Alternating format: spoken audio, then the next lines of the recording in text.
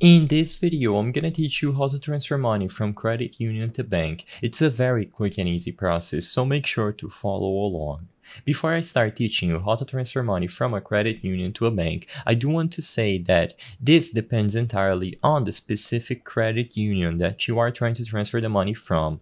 In this video, I'm gonna show you how to transfer money from the Navy Federal Credit Union, but keep in mind that since there are plenty of different credit unions across the world, I cannot show you and guarantee that this process that I'm gonna display in this video is going to work for all of them. So if you need help on a specific credit union, I recommend that you go over to their website or the customer support page and you get instructions on how to do the process there. But you can try following this general guide that I'm gonna show you and this should work for most credit unions.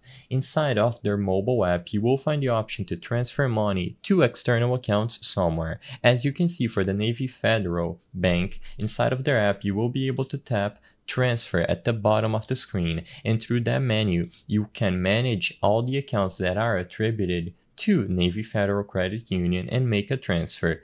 So likewise, open the app for your specific credit union and find the option to initiate a transfer. You will be able to tap the plus sign somewhere to add an external financial institution. This is where you have to include the details about the bank that you are trying to transfer money to. Now, to transfer money from a credit union to a bank, fill out all the necessary information. So for example, the account number, routing number, and the amount.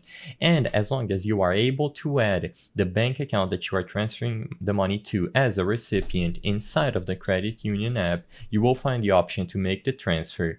Choose from which specific account inside of your credit union the transfer is going to be made from and confirm the recipient, which should be the bank account that you just added, include the amount and the date, and as long as you have enough balance on your credit union, the transfer should go through without any issues. Once again, I'm going to be repeating the disclaimer, since this process is different for every single credit union, you might want to get instructions on how to do it on your specific credit union. In this video, I taught you how to do it through the Navy Federal Credit Union, but it might differ for you.